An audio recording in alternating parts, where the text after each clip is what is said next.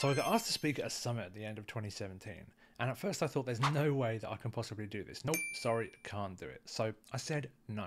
But then I remembered a quote from Richard Branson that says, If someone offers you an amazing opportunity and you're not sure you can do it, say yes and learn how to do it later. So I called back and said I would do just that. But I didn't have too long to learn because someone had dropped out due to illness and my spot was in less than two days. So the day came and people said they could barely hear me. And we tried troubleshooting and I did the entire presentation with everyone leaning in trying to hear me.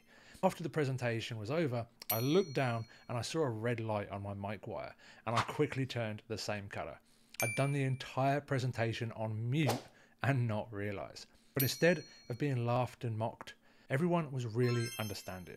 It was super humiliating and embarrassing, but despite it being a really stupid thing to do, hardly anyone remembers now, and no one cares.